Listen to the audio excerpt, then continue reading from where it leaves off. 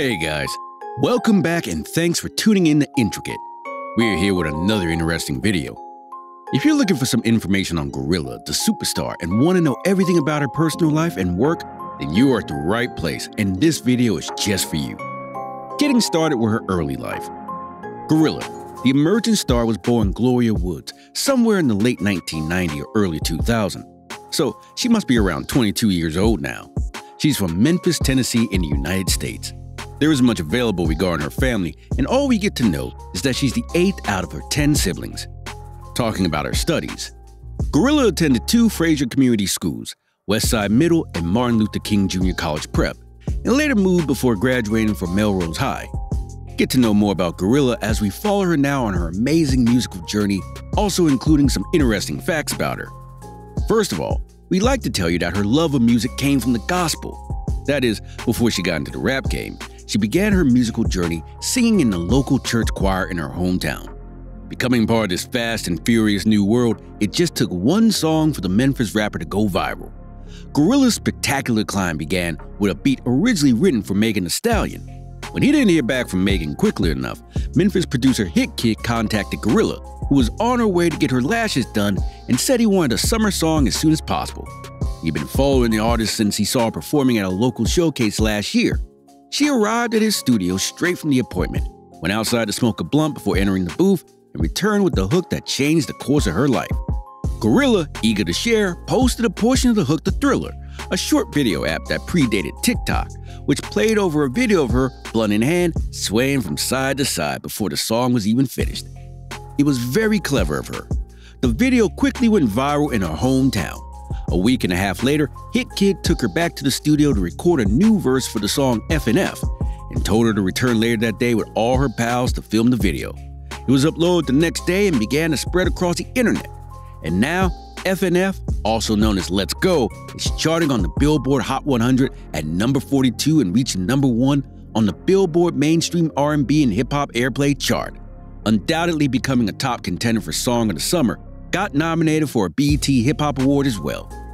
The viral song also sparked the hashtag FNF challenge on TikTok, and the music video generated over 40 million views on YouTube, catapulting GloRilla to national and global stages, including Rolling Loud Miami, Wireless Festival in UK, and Made in America 2022 in Philadelphia. So, you see, her decision to venture into the rap game paid off very well, as she's garnered support from significant stars in the industry. From Cardi B referring to FNF as the song of the summer, to Travis Scott and Deflo proving themselves to be fans, GloRilla has caught the attention of other notable rappers. Her rise may appear to be an overnight success, but she is not just a TikTok rapper. Rather, the star's been grinding for a while now. And her hard work finally paid off in July when she became the first female rapper to sign the Yo Gotti CMG label, a move that sparked a social media frenzy when GloRilla and her friends rode up to Gotti's jet to sign the contract. She recently announced Tomorrow 2, a new collaboration with Cardi B. The song is a follow up to another fan favorite track of hers, Tomorrow, released under the label CMG. Time for a fun fact here. GloRilla did not always intend to enter the rap game. However, she did know she wanted to use her voice in some ways. She did want to be a singer, but started smoking in her teens, which affected her voice. So, while smoking hampered her singing dreams, it all worked out in the end. She started churning out raps in 2019. GloRilla clearly has something special. Her deep voice, along with her Memphis accent, lends her a distinct sound in her rap numbers. And in an industry where women are sometimes pitted against one another, GloRilla isn't reluctant to share the spotlight with other female rappers, including her best friend, Gloss Up. Besides, GloRilla turned to rap as she also used to listen to and admire Chief Keef. As she began rapping, her cousin pushed her to take her rap career seriously, which eventually led to the release of the single Y'all Ain't S in 2020 and West Side Baby in 2021, where her smile and dance are contagious while the lyrics are a little harsh. When it comes to her moniker, Glorilla's legal name is Gloria, so one can see how her government and stage name play off of each other. However, the rapper initially went by Big Glo, though her cousin had a different notion. He actually came over with Glorilla and she went for it a quick look at her future plans. She wants to get into the acting world sooner than later, as she already has performed in a hood movie in Memphis and always hoped to appear in a big movie someday. Moreover, according to Billboard.com, she's also planning to release an FNF remix in collaboration with hit rapper Saweetie. You people may be curious, but Glorilla's present relationship status is unknown. The young rapper is believed to be single as she has not revealed anything about her love affairs.